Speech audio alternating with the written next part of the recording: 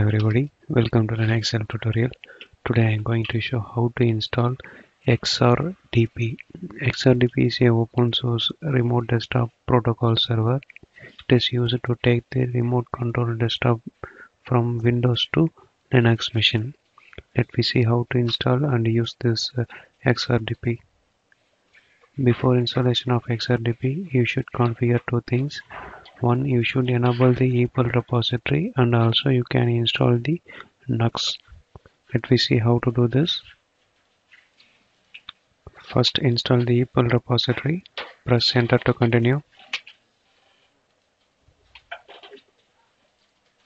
Press Y to continue. Again press Y to continue now the EPEL repository will be installed successfully. Next I'm going to install Nux. This is the command to install Nux. Now press enter to continue. Now the Nux will be installed successfully. Now create a repository file. Press enter. Add this following statement in this repo file. After done this, save and quit this file. Run the following command to install XRDP. Press enter to continue.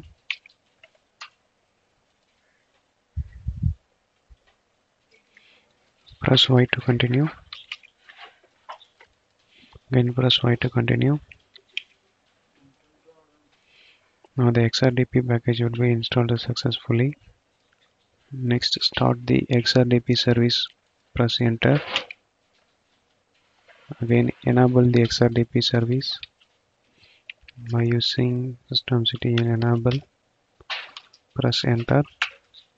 It will be enabled. If you want to check the status means again you can check the status.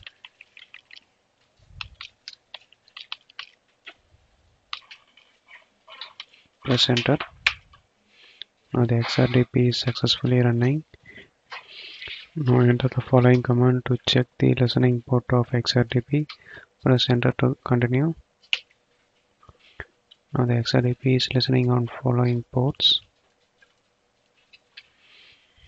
Next create the IP table route to allow the XRDP connection. Press enter to continue. Now reload the firewall settings.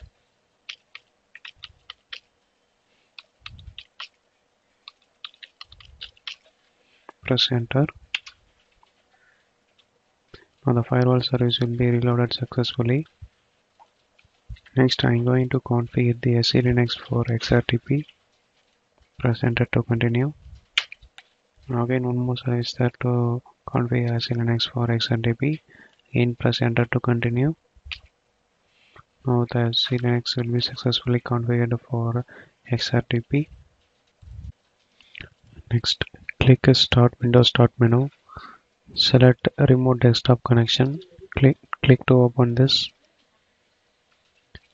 Now enter your server IP for Linux machine. This is my server IP for Linux machine. Now click connect. Now the XRDP login uh, will be accessing to take the control for Linux server. Enter the root enter the username for Linux server and I enter the password. After entering the username and password for next server now click ok. Uh, it will be going to connect now it will be successfully connected. The screen will be locked. Now enter the password. Click on lock now the Linux machine will be successfully taken remote desktop connection. If you want to check the if you want to execute some command means open the terminal. Now I'm going to check my IP address.